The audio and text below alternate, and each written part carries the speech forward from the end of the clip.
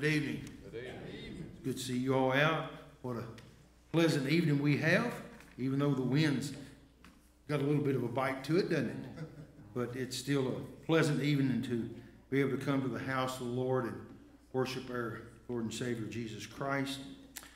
Uh, continue to pray for Shawnee Run this week, our sister church. Uh, of course, the tithes and offerings go in the back. Uh, we don't have it on our in the bulletin, but don't forget our digital sign fund. We are still working toward that. Uh, continue to pray uh, for that. Uh, the Finance Committee did meet today. Our business meeting will be Wednesday evening following our uh, prayer time and Bible study, or right afterwards. Please submit names for candidates and uh, for deaconship uh, and put them in the basket. Uh, we got several names today.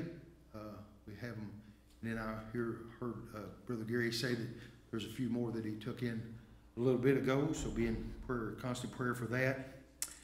Also, if your phone number has changed, or if you are not getting or receiving, is there anybody that is not receiving the call them all calls that you're aware of? Everybody pretty much receiving those? If you talk to anybody and they're not receiving those, there's a possibility that, that their phone number got kicked out of the system, or if they've changed their phone number. You lately, Huh? you tried Roger Uh, Kenny talked to him today. okay, cause it is kicked out, Yeah, he is kicked out, but I put it on okay. about two weeks ago. I put it back on there. Yeah. But if you talk to someone and they're not receiving them, or they have changed their phone number, tell them just let me know, and I'll be glad to go back in and, and put that on there for them. Operation Christmas Child Shoebox Ministry is collecting in November personal uh, notes and photos.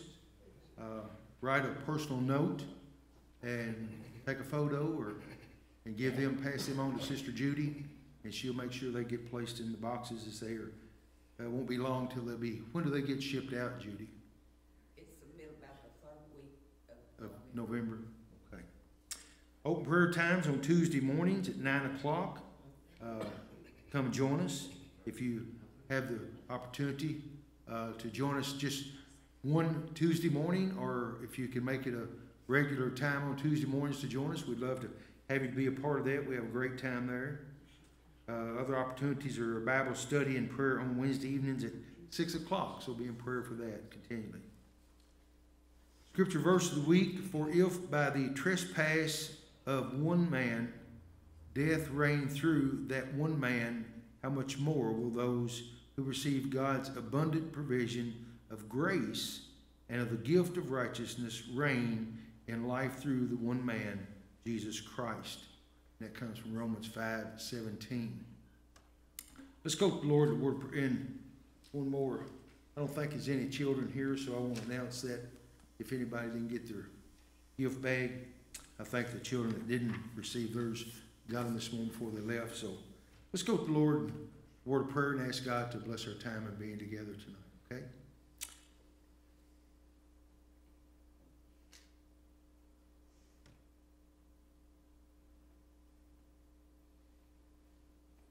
Our Heavenly Father, in the quietness of the moment, we just want to come thanking you. Thank you, Lord, for the time that we can gather back together in your house. Thank you for the freedom and liberty that we have to do that, Lord. Father, we know and understand there's many parts of the world that can't do what we've assembled to do here tonight, and that is to come and to worship our Lord and Savior Jesus Christ. We thank you, Lord, for the sacrifice that you made, an ultimate sacrifice it was, Lord, from the cross of Calvary to shed your blood to make the atonement for our sins, to become the substitute for something that we could not pay for, Lord. So, Father, we thank you.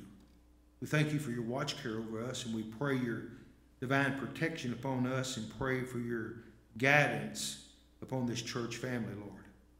Father, may in every undertaking that we do here, may it be, may it be by your guidelines. Father, we'll give you the praise, the honor, and the glory. And Father, right now, we just ask that if we have, that as we have assembled together, Father, you just bless my brother Ronnie as he leads us in song and hymn. Bless Miss Ruby as she uh, works the media system and uh, her sisters and brothers, they play the instruments and each of the voices of the congregation, Lord, that we will come together in harmony, uh, Father, to uh, lift up songs of praise, thanking you, Lord, continually for the many blessings of this life, most of all for eternal life through Jesus Christ. Father, we also ask that you'd be with those that are sick. Uh, Father, some of our elderly, uh, Lord, are not feeling well. Uh, Lord, it's hard for them to get back to church at night. And God, I pray you'd bless them right now. I pray you'd just reach down and let them know that we miss them, Lord, dearly. Uh, Father, I pray that you be with those that have had loved ones to go on recently. And just continue to nurture and bless and comfort them in their times of need, Lord. May we as a church family continue to reach out to them.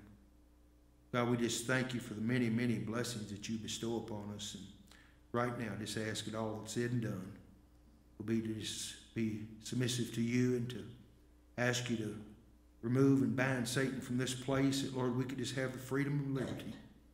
We welcome you, sweet Holy Spirit of God, to come into our midst and make yourself known and, and uh, enlighten us. Give us understanding, Lord, tonight from your word. Father, we love you, we thank you, and we praise you. And we pray all this in the sweet name of Jesus, our Lord and Savior. Amen. All right, brother.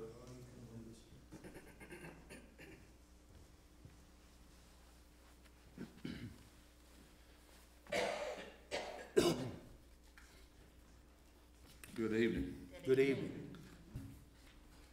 Start out with five thirty-three, he lives. Let's all stand, please.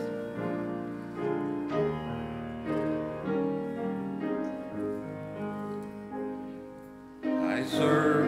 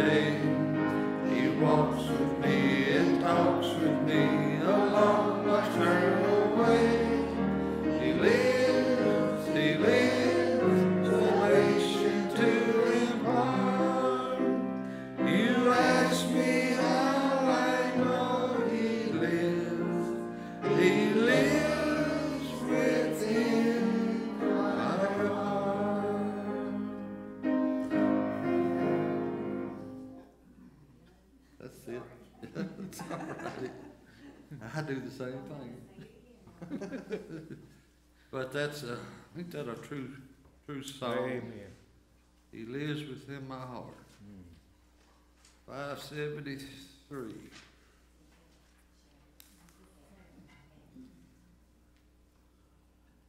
Set my soul on fire.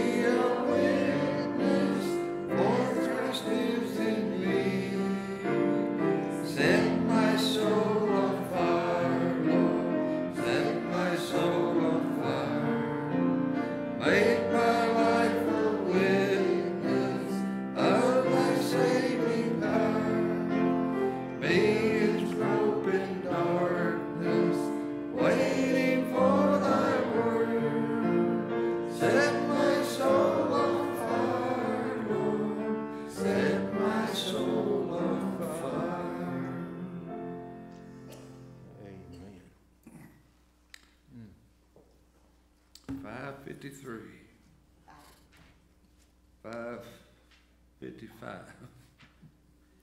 It's catchy.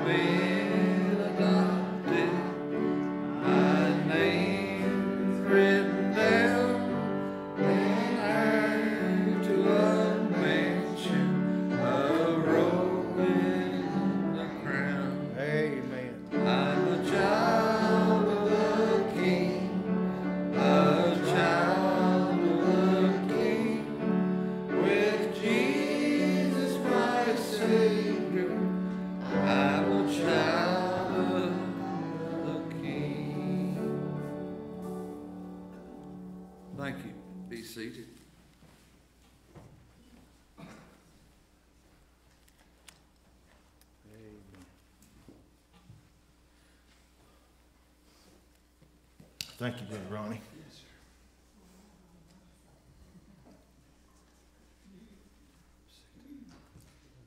Glad to be a child of the King, aren't you? Amen. Amen. Praise the Lord. Turn with me tonight in your Bibles to 1 Timothy. 1 Timothy chapter 3. 1 Timothy chapter 3.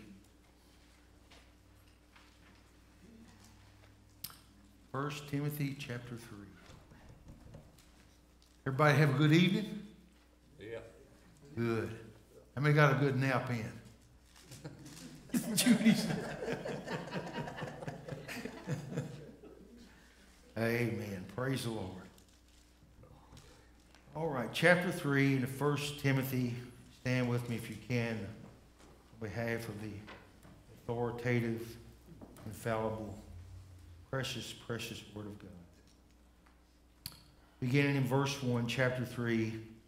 This is a true saying. If a man desire the office of a bishop, he desireth a good work. A bishop then must be blameless, the husband of one wife, vigilant, sober, of good behavior, given to hospitality, apt to teach, not given to wine, striker, not greedy of filthy lucre, but patient, not a brawler, not covetous, one that ruleth well his own house having his children in subjection with all gravity. For if a man know not how to rule his own house, how shall he take care of the church of God? Not a novice, least being lifted up with pride, he fall into the condemnation of the devil. Moreover, he must have a good report of them which are without, lest he fall into reproach and the snare of the devil. Likewise must the deacons be grave, not double tongued or given much wine, not greedy of filthy lucre, holding the mystery of the faith in a pure conscience. Let these also first be proved. Then let them use the office of a deacon, being found blameless. Even so must their wives be grave, not slanderers, sober, faithful in all things. Let the deacons be the husbands of one wife, ruling their children in their own houses well. For they that have used the office of a deacon will purchase to themselves a good degree and great boldness in the faith which is in Christ Jesus. Let's pray, please.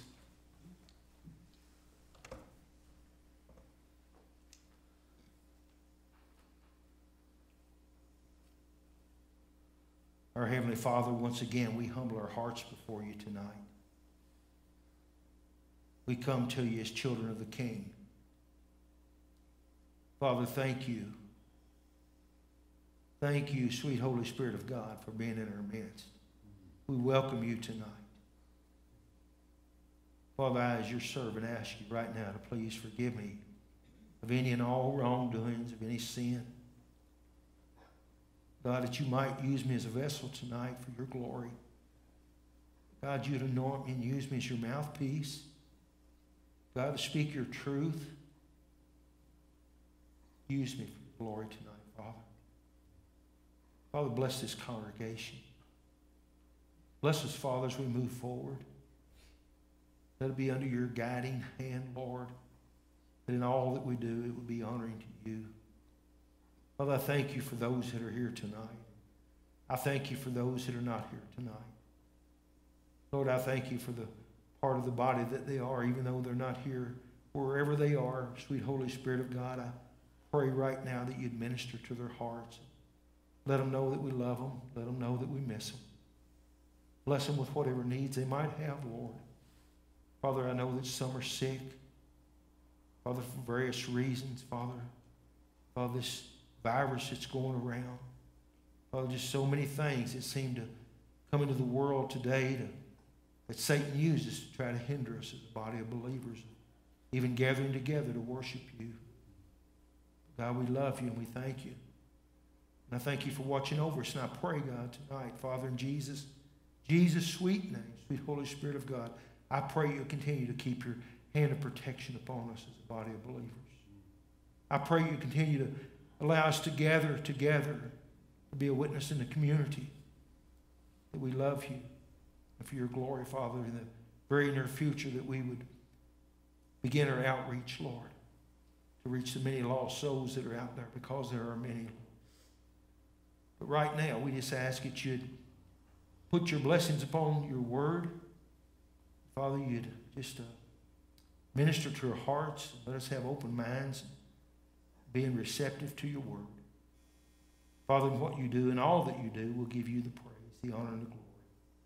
Father, if there be anybody that needs to make any kind of decision tonight, I pray, God, that in the name of Jesus, that tonight might be the night that you might bring conviction, that you might pierce our hearts to the very depth within, Lord, of the needs that we might have, Lord, to walk a more holy life with you.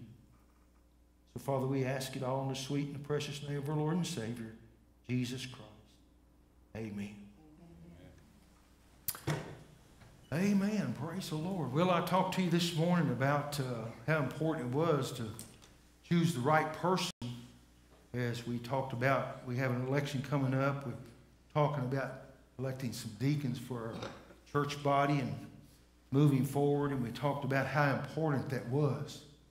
We talked about how important that was because here's the thing, friends, as I was reminded by a dear friend, one of our own, this morning as we was leaving. He said, and what we're about to do, he said, uh, is a great undertaking. It's a great undertaking for this very reason, friends, and listen closely. Because it will be and it will determine the direction in which our church goes. When we began to elect deacons to serve in the church, to fulfill the responsibility in which God calls them to fill from the Word of God, that will direct our body of believers in the direction in which we're going to go. Amen. And we all want to be on the same page. And to be on the same page, we want to abide by the holy, infallible Word of God. That's the only way we can do it. Because as I said this morning, we are a Bible believing church. Amen. So we will stand upon the Word of God in doing that. And so uh, maybe we just pay close attention. And tonight, as we look at this and we look at the book of Timothy, you know, Paul had left Timothy at Ephesus for a reason. He left Timothy and encouraged Timothy and challenged Timothy there at Ephesus to build the church. That was Paul's heart's desire, was to build the church. And that's what we're in the process of doing. We're in the process of building our church. And we want to build it for the glory of God. We don't want to build it to feel good about ourselves. We don't want to build it to feel good about somebody else. We want to build this church, God's church, for the glory of God. Because in the book of Timothy, he explains to us that the director of the church is the pastor, and that the deacon of the church are leaders to help. And then there's the doctrine of the churches, which is what we go by, and Jesus Christ being the head of all. We do know that Christ is the head of everything. Uh, if we take him out from being the leader, then we'd be in deep trouble. But we are a Bible believing church, and we do stand upon the Word of God. So may the Lord continue to direct our hearts and lives. But a, a, a pastor's position, a, a, deacon's position, is a very, as I shared with you this morning, a, a very highly respected position, my friends. It's a very highly respected. You know, I've told and I've heard said, and maybe you've heard said, that there's not a lot of difference in the position of being a deacon and a pastor. There's not a lot of difference. The deacon plays that pretty much same role, has pretty much the same responsibilities to in many ways, and are called to be accountable in the same way. And so, you know, some have even said, and you've probably heard this, that to be elected, now I want you to listen to this and, and let this sink in. To be called upon to become the president of the United States is to take a step down from being a pastor or a deacon. That's how important this role is. That's why it's so significant in understanding that we must abide by the Word of God. And we must follow through with the things in which God says that we be qualified under the qualification, qualifications in which Christ mentions here in the Word, or Paul, which is the Word of God. But the deacon's position is to overlook, to oversee, to superintend, the oversight of responsibility. There's a lot of responsibility that comes in being a deacon. A lot more than sometimes people realize. You know, I've seen it done, and I know you've seen it, probably heard about it, but I, have seen it happen in churches where people come forward and people bring, uh, they, they present names for candidates, and people are elected as uh, deacons in the church, and they come and they have hands laid on them, and, and as Miss, uh, what was her name now? Miss uh, uh, Granny May, Granny May from church first, first church I pastored down Bethlehem. Granny May told me and used to tell me all the time. She said, Brother Lynn, she said, we got deacons, but they just won't deacon. They just won't deacon, Brother Lynn. that happens. But with the right guidance and under the right leadership, a deacon body can really build a church. A deacon body can really build a church, friends if they'll take the responsibility seriously. We talked about this morning how serious it was to, first of all, fear the Lord. You know, college and seminary degrees are not to be disrespected. Matter of fact, they're to be honored in many ways. But they can't make up for the character in which God will bestow upon a man that is placed in that position and by the experiences in which you will find yourself in and growing from along the way. As I said in ending the, serv- ending the service this morning, it'll be, it, it'll be wonderful. It'll be so enlightening to you. It'll be such a privilege to you to grow under the leadership and lordship of the sweet Holy Spirit of God. Uh, I know that uh, I, I, told somebody the other day, uh, I think Kenny Lors was eating dinner one day this past week. I forget where we were, but I was telling them, I said, and I, have shared with you, I said, you know, I, I robbed myself of an education. Even in college, I just wanted to get through school. I just wanted the degree. I just wanted to get it over with, you know. And I could have learned so much more.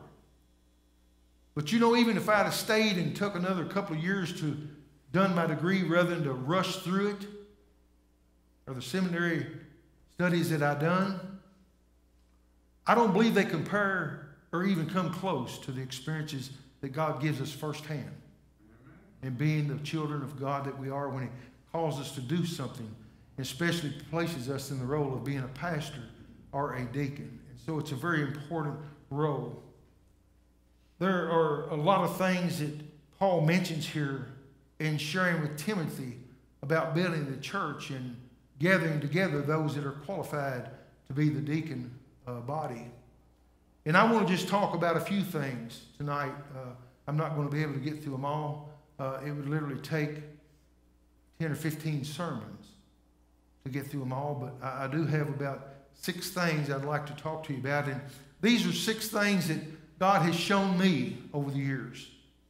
They're, they're not six things that are picked up from somebody else. They're six things that are picked up from the very Word of God in this uh, leadership role and understanding the importance of it. And the first one is to be filled with the Spirit. I truly believe that God says that we must be filled with the Spirit Amen. in order to fill this role. I remember when Moses was uh, back in the book of Exodus and God had told him, Moses, because of your sin there in the wilderness of Zin, he said, You're not going to be able to enter the promised land, but you can go up on Mount Nebo and, and look over into the promised land. And, and Moses had such a heart for the church, for the congregation. He said, Lord, he said, please, he said, uh, let somebody, because he knew that the Lord was about to call him home, take him home.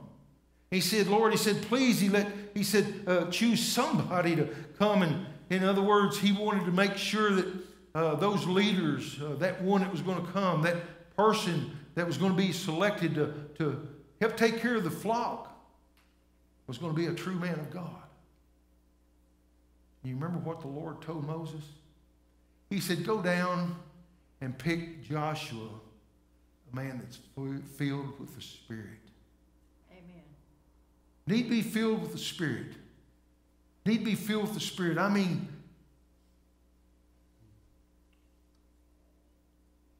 the fruit of the Spirit are characteristics after being filled with the Spirit. The fruit of the Spirit is love, joy, peace, long suffering, gentleness, goodness, meekness, temperance, and against such there is no law.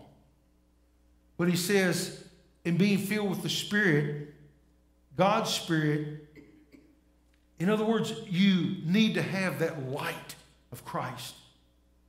What Jesus say? Jesus said in John's Gospel, chapter 8, verse 12, he said, uh, I spake unto them, saying, I am the light of the world. And he that followeth me shall not walk in darkness, but have the light of life. Being filled with the Spirit is to have the light of Christ in you, is to have the likeness of Christ in you, to have the characteristics of the fruit of the Spirit. In Numbers, Moses was concerned about the people. I believe also that being filled with the Spirit is that insinuation of being born again, as we call it, or as Jesus called it in John's Gospel, chapter 3. One must be born again. Born again with the Spirit of God, not only by blood, but by the Spirit.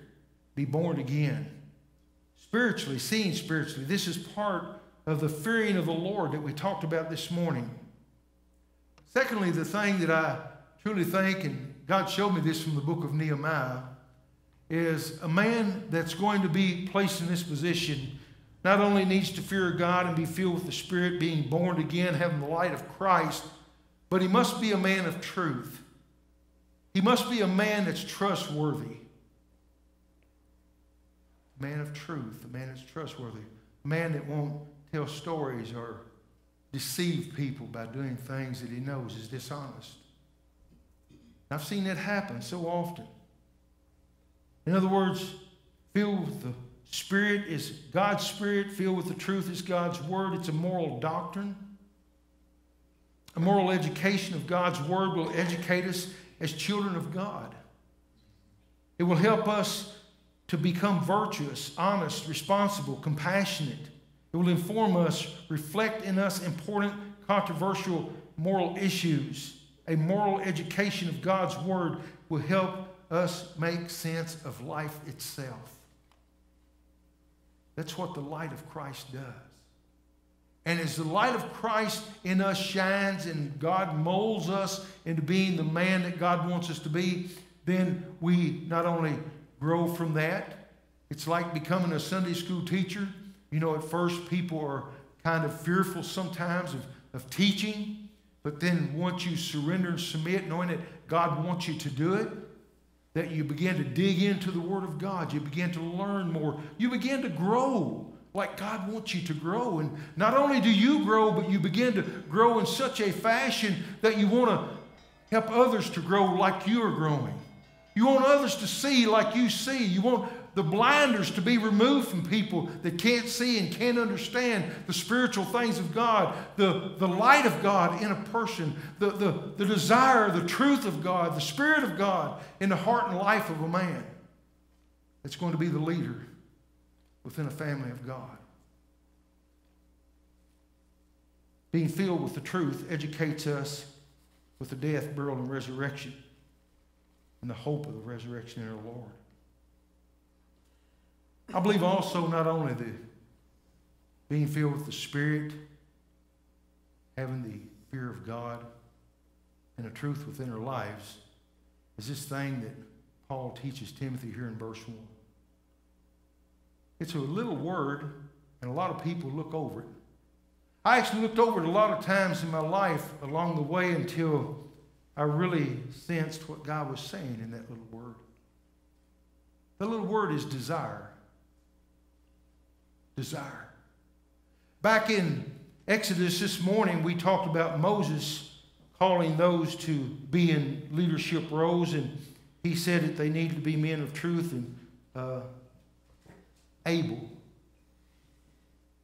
Desire means willingness, a heart filled with God, with the same thinking and reasoning of God through God's Word, for the same mission that God Himself came to this earth for. And that is to look for lost souls and to reach out to lost souls, and that's done through the light of Christ that's within our lives. And that light is to be over, uh, spilt over into the lives of those around us that we can take part in to help with. And I look forward to that taking place. But the full of being desire is God's work, a want and a willingness to serve the Lord. You remember the example that the Lord gave us at the Lord's Supper? Here's God in the flesh. He's manifested in the flesh of Jesus Christ, God Himself as a man. And when they go into the upper room and the guys begin to gather around the table, what does their Lord do? Him being Lord, he takes off his girdle and he goes over and he begins to serve them, doesn't he? He begins to clean them up, help them with the needs they had. And you remember Peter said, Oh, said, don't touch me, Lord. Said, no. And he said, If I don't, Peter, remember the story. And Peter said, Oh, he said, Lord, wash me thoroughly, wash me from head to toe. Clean me up, Lord. Clean me up that I might be used by you, Lord. God wants our desire, not our doing, in other words. Jesus didn't say your work, working is important. Jesus said, Thank you for serving me. That's what Jesus says. Thank you for serving me. It's an honor.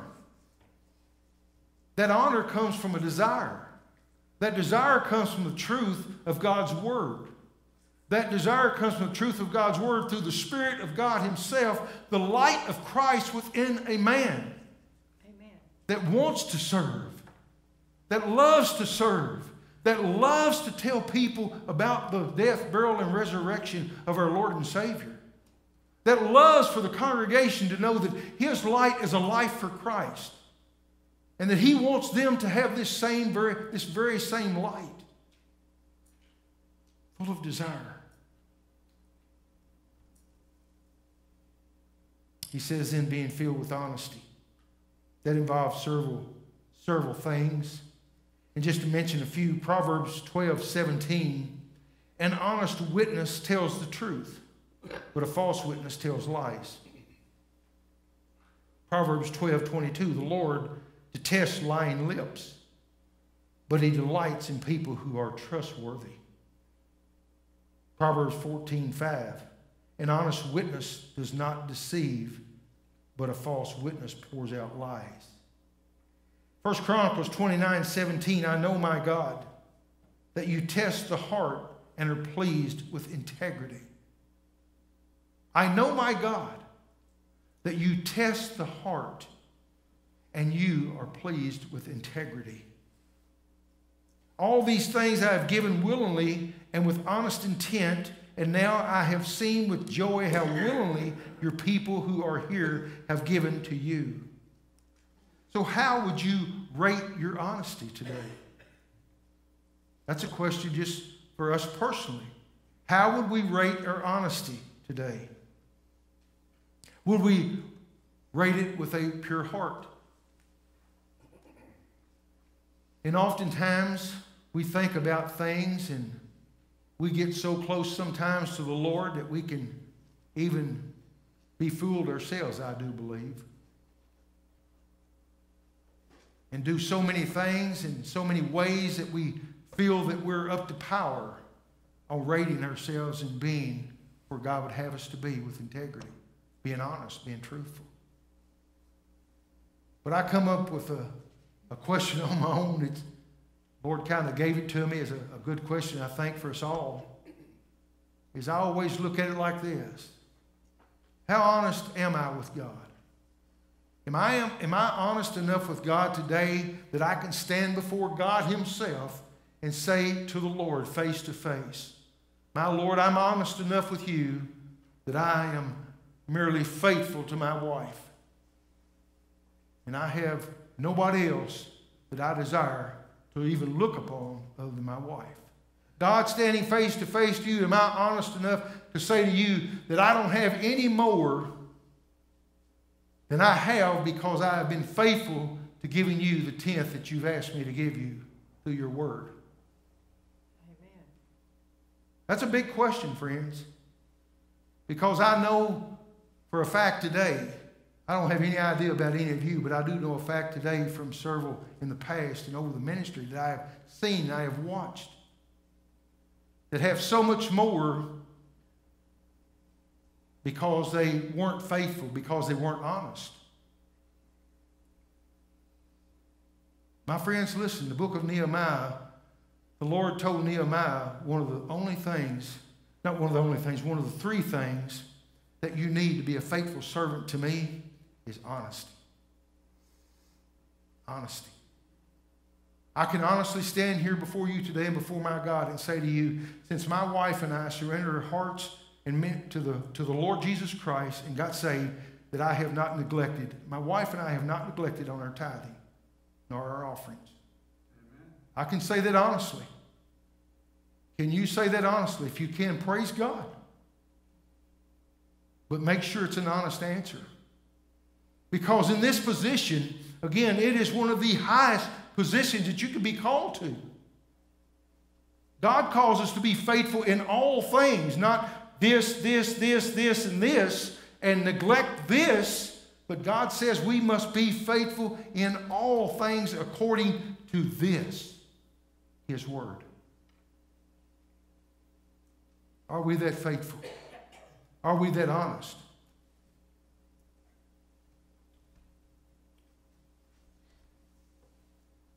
You know, giving to charities are good, but it's not tithing to the storehouse, friends.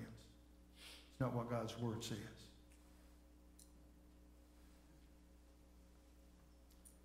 And then we get to one of, I guess, probably is the one of the most controversial statements used in selecting pastors and deacons that there is. And so many people have gone in so many different directions with it. And I want to share with you tonight what I truly believe God's Word reveals to us about it. After doing much studies, after looking into it, studying it long and hard, looking at others, some of the most profound uh, philosophers that we have, uh, educators and theologian uh, schools that we have, and I, I'm referring to many of our great theologian, theologians. But first of all, he says to be the husband of one wife. He's talking here to us about being above reproach. Being above reproach. In relation to women, he must be the husband of one wife. And the Greek reads that a one woman man. That's what the Greek reads. So I want to shock you tonight, probably because so many people have heard so many things, and so many people have sit under so many people uh, saying that this is what it means and this is what it means. But let's look at what it truly means tonight. Let's look at what it truly means tonight. First of all, Paul is not referring to a leader's marital status. That put a shock in you? Paul is not referring to Timothy and teaching these men that are going to become leaders. He's not talking about a marital status. He's referring to moral issue here. Moral issue. He's referring to sexual behavior.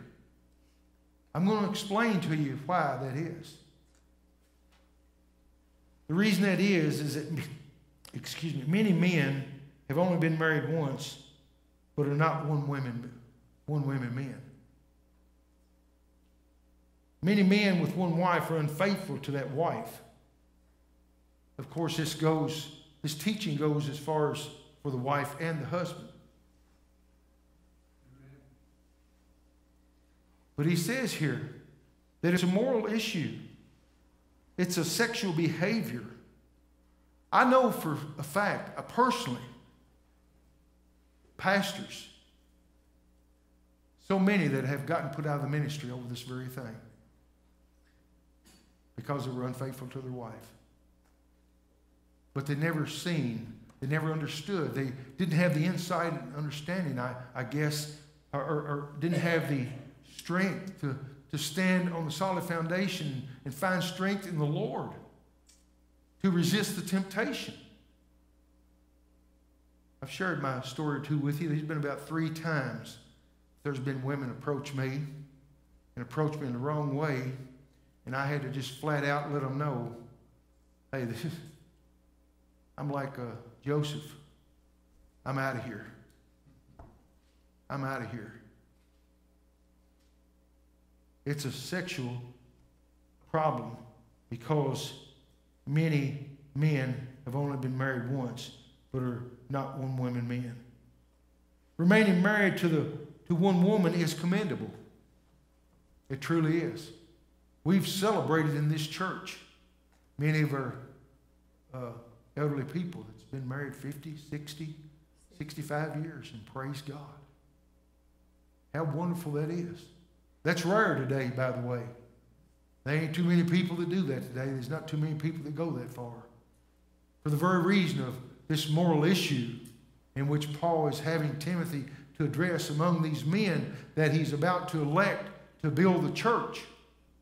It's very important that you have the Spirit of God. It's very important that you're truthful. It's very important that you're filled with honesty. It's very important that you're a husband of one, being a one woman man. That's very important, God says. Being married for a long time is not any indication or guarantee of moral purity, friends. I know from church I pastored before I got here. Sad to say, the deacon body was so intertwined in sexual adultery that it was pathetic. And I went and confronted some of them about it.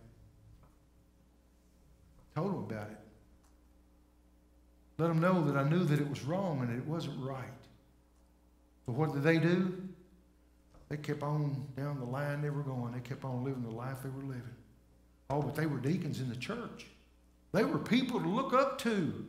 They were examples in the church. And over half of the church knew what they were doing.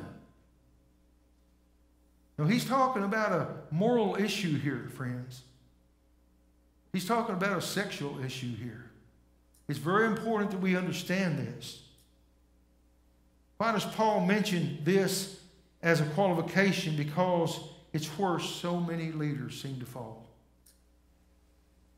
I guarantee you, everybody in here knows some minister that has fallen for that very reason. I'd almost guarantee you that.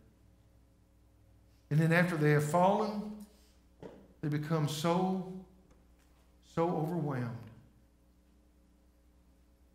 not realizing what has happened. The failure to be a one woman man has put more men out of ministry than any other sin.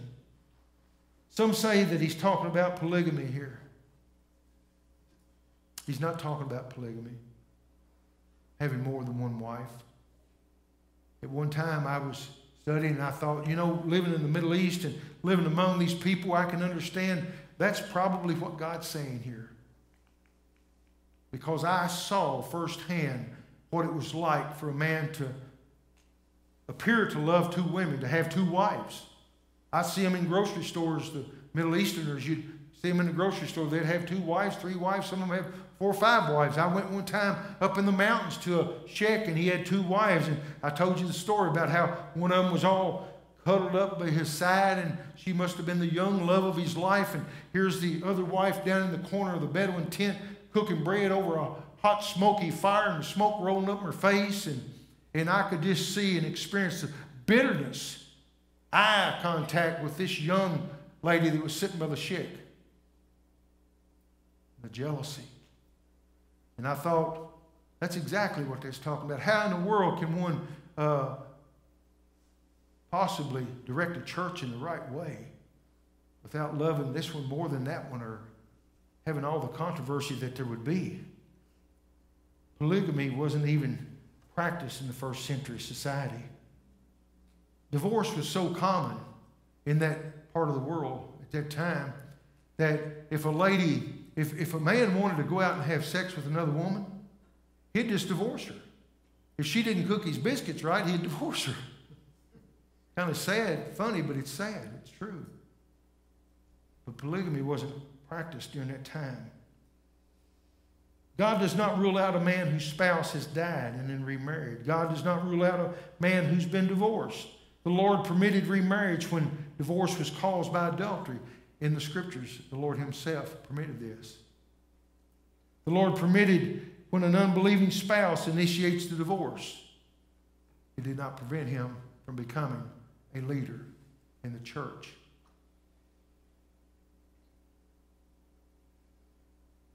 Another view is a man's sin nature when he got saved. Say, well, I got saved after the fact. Well, that's neither here nor there. What God is talking about here is that moral issue. And I believe in all my heart that, and I'll tell you why I believe that. A part of why I believe that is because of what God's Word says. God talks so much in His Word about the jealousy that He has. God talks so much about Him being the, the, the bride or the groom and us being the bride. And when we, we, we fornicate or we, we commit adultery, how God looks at it, how it must break his heart. But I do believe in all my heart that word proves and, and, and testifies that a man, once he's saved, at that moment, the word does say that is the moment that you're accountable for. From that time back, everything's been wiped clean. You've been, by the grace of God, forgiven of any and all sin. That's the Word of God. That's what God's Word says. But from that point on, you're accountable.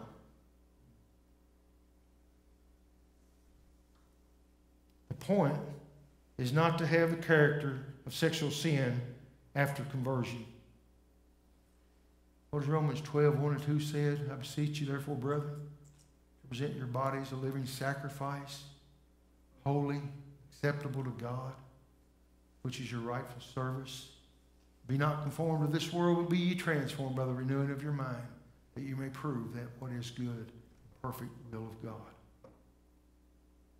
Oh, my friends, listen. Sometimes we get it so confused. But I pray that God's helped us tonight. I pray that God's shown you some things tonight. I pray that you understand tonight that these are important issues because the position is so important. The position is so important because we're going to be accountable to the Lord. We're going to be accountable to one another. We're going to be accountable to those that are in need of the love and forgiveness of Jesus Christ around us. And it makes it so important. A one woman man is devoted in his heart and mind to the woman who is his wife with the love, with the spirit, with the truth, with the desire and honesty to serve the Lord for the glory of God the Father. Amen. Scripture's clear. Sexual sin is a reproach that never goes away, friends. That's what the Bible says about it. To commit adultery is one of the one who lacks sense, who destroys themselves, and it wounds one and disgraces one. whole reproach will not be blotted out. Whose reproach will not be blotted out? Except by the forgiveness of sin. Paul says failure to keep the body pure and control results in being disqualified for us being in the position and preaching the Word of God. 1 Corinthians 9.27. Because you see, sometimes that's why I asked my brother Robert, I want to thank you, Brother Robert, for filling in that Wednesday night that you filled in. I want to thank Brother Jim for filling in the Wednesday night that he filled in. I want to thank Brother Ronnie for all the times that he's filled in. Because that's a part of serving in the way that you'll be serving when you become a, a leader and being a deacon of the body of Christ. Is sometimes the pastor's away. Sometimes the pastor might be gone. And you'll be asked upon to come. And when you come, come with a desire. Come with a heart of truth. Come desiring to feed the flock, something that will help them to see and understand the precious Savior a little bit more. Help them to understand how serving the Lord is such a delight. And I've heard many say, and I've said it before in my own, own way. Uh, I'll tell you something, friends. I don't know much. I'm not very well educated, to be honest. But if you were to take preaching away from me, I don't know what I'd do. I love it that much. Brother Fred can, can testify to what it's like. I remember sitting in Jordan when we first got to Jordan. I was so used to preaching the Word of God, and I wasn't very good at it, still not very good at it. But I remember sitting out in the congregation with my wife. We'd go to services, and the preacher would be preaching, and I'd sit there and I'd start crying. I'd say, Oh, God. God, I want to preach. God knew my heart. God knew my desire. It wasn't long till one of the pastors of the church said, Brother Relford said, Would you fill in for me? Then word began to get around, and I preach here and there. And little church, Baptist church we was close to there where we lived by, Dr. Matthew Hattie. He let me fill in quite often because he traveled a lot. Oh, it thrilled my soul. It thrilled my soul, my friends, to get up and share the precious Word of God with people. Just to try to get across a little something new to them that might help them in their walk, to walk a little closer to the Lord, to understand how gracious God is to us. That's the desire from the truth of God's Word and the light that He is in us. And I see it in some of you. And I praise God for that. As Brother Kenny and Sister Lori and Brother Ronnie and Sister Shelby come tonight, you know, one last thing I want to share with you about the Lord, and this is another part of what verse 13 says. And that is the witness that you're going to be. The witness that you're going to be. It means being a step above everybody else. That's what it's going to mean, friends. It means one put on a pedestal. And that's not sinful pride, by the way. It's just simply one that's put on a pedestal in the sense that deacons don't seek it, but they're worthy of it because of the desire that's within their hearts and lives. It means one serves with humility. They will be exalted by the Lord.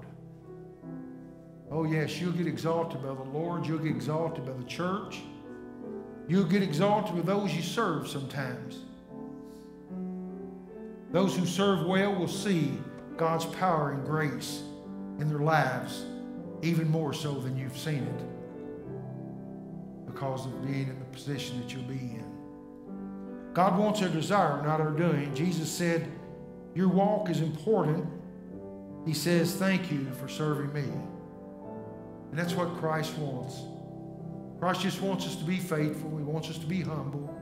He wants us with all of our heart to be filled with the Spirit, to be filled with truth, and to be honest in what we do for the glory of God.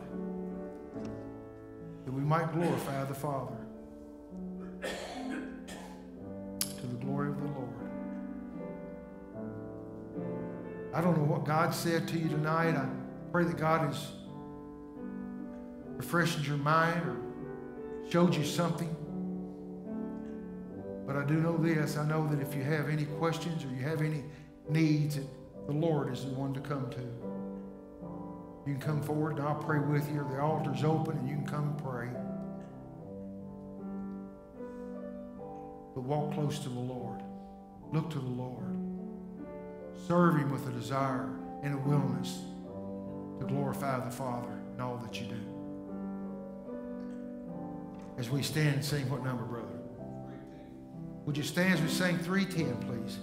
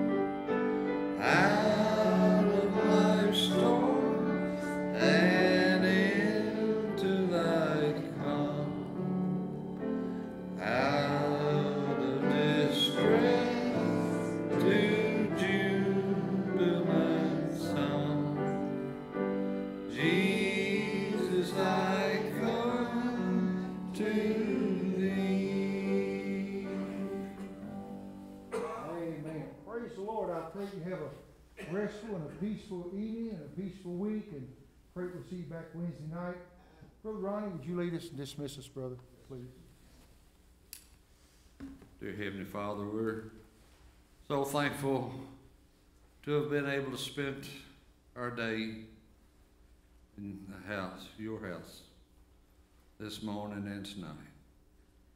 Dear Father, we're just thankful for the uh, freedom to do this. And we, we ask this, this freedom to never stop.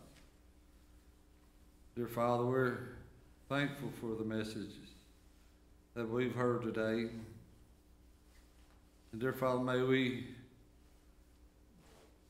run them through our mind and this week and and study them and to to think about them.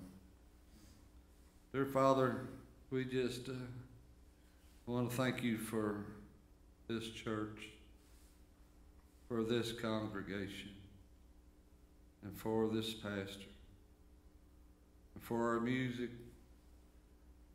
Thank you for the sacrifice Jesus did on the cross. Dear Father, just uh, bless us now as we leave and uh, bless us this week. Forgive us for our many failures and forgive us of our many sins. In Jesus' name we pray. Amen.